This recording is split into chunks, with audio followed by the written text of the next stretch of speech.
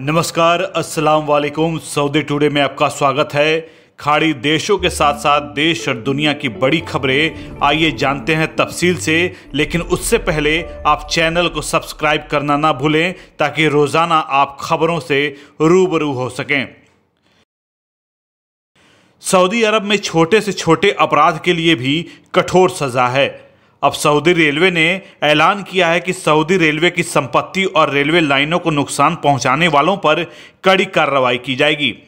Saudi में railway की संपत्ति और रेलवे लाइनों को नुकसान पहुंचाते हुए पाए जाने पर आरोपी को कम से कम दो साल की जेल की सजा और पाँच लाख रियाल का जुर्माना लगेगा। सऊदी रेलवे के मुताबिक रेलवे की संपत्ति की चोरी या फिर उससे छेड़छाड़ करने वालों को यह सजा भुगतनी होगी। रेलवे उपकरण और सुविधाओं में ट्रेन, नेविगेट, यार्ड ऑपिंग और इसकी कारों के अलावा स्टेशन, कार्यशालाएँ, रखरखाव कार्यशालाएँ और ट्रेन ईंधन स्टेशन शामिल है। ऐसे मामलों में अगर प्रवासी आरोपी पाए जाते हैं तो उन्हें सजा पूरी होने के बाद देश से बाहर निकाला जा सकता है। सऊदी रेलवे के अनुसार इस मामले में सरकारी वकील अपराधियों की जाँच और उन पर मुकदमा चलाने के लिए जिम्मेदार होंगे। जुर्माने के साथ साथ आरोपियों से पूरे नुकसान की भरपाई करवाई जाएगी। सऊदी अरब रेलवे ने बढ़ते मामलों को देखते हुए इसका ऐलान किया है। सऊदी अरब में आज कोरोना के एक नए मामले सामने आए हैं। जिससे कुल मामले बढ़कर अब तीन लाख बासठ हज़ार छियासठ हो गए हैं।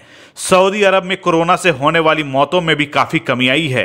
राज्य में कोरोना से करीब आठ मौतें हुई हैं। आठ नई मौतों को मिलाकर कोरोना से मरने वालों की संख्या 6,176 हो गई है। सऊदी अरब में अगस्त तक हर दिन 10 से अधिक मौतें दर्ज की गई हैं लेकिन अब हर दिन होने वाली मृत्यु दर में भारी गिरावट दर्ज की गई है। मंत्रालय की माने तो एक नई रिकवरी दर्ज की गई है जिससे राज्य में कुल रिकवरी के मामले तीन लाख तिरपन हज़ार चार हो चुके हैं। सऊदी अरब स्वास्थ्य मंत्रालय के मुताबिक राज्य में रिकवरी दर संतानवे असारिया चार आठ फ़ीसदी है। राज्य में सक्रिय मामले भी घटकर दो हज़ार आठ सौ छियासी रह गए हैं। जिनमें से तीन सौ तिरासी मामले ही गंभीर हैं। सऊदी अरब से एक राहत की खबर आई है, सऊदी में कोरोना वैक्सीन का टीका आ गया है, जिसे लगाने के लिए बड़े पैमाने पर अभियान शुरू कर दिया गया है। शारजाह के इंडस्ट्रियल एरिया में स्थित एक स्पेयर पार्ट्स के दुकान में भीषण आग लग गई। शारजाह सिविल डिफेंस की टीमें काफ़ी मशक्कत के बाद आग पर काबू पा सकी।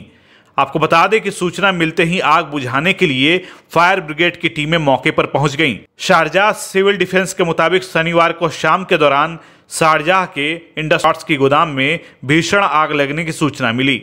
सूचना मिलते ही फायर ब्रिगेड और सिविल डिफेंस की टीमें मौके पर पहुँच गईं और आग पर काबू पा लिया। शारजाह के इंडस्ट्रियल एरिया में लगी इस आग का गहरा काला धुआँ दूर से देखा जा सकता था। सऊदी अरब में एक और बड़ी ड्रग तस्करी पकड़ी गई है। सऊदी पुलिस ग्यारह आसारिया तीन मिलियन एम्फेटेमिन की गोलियों की तस्करी को पकड़ने में कामयाब हुई है। इन सभी ड्रग्स की गोलियों को एक लहसुन के खेप के अंदर छुपाकर तस्करी करने का प्रयास किया जा रहा था। सऊदी समाचार एजेंसी एसपीए ने इसकी जानकारी दी है। सऊदी समाचार एजेंसी एसपीए के अनुसार नारकोटिक्स विभाग के प्रवक्ता मोहम्मद अल नजीदी ने रियाद में ड्रग तस्करी करने वाले गिरोह को पकड़ा है। इस गिरोह में तीन सऊदी और चार प्रवासियों को मिलाकर करीब सात लोग शामिल थे। मोहम्मद अल नजीदी ने बताया कि सभी आरोपियों को गिरफ़्तार कर लिया गया है और ड्रग के खेप को जब्त कर लिया गया है। अधिकारी ने कहा कि सभी आरोपियों को कानूनी प्रक्रिया के लिए भेजा जा रहा है। उन्होंने बताया कि वे कानूनी अभियोजन के लिए भेजे जाने से पहले कानूनी प्रक्रिया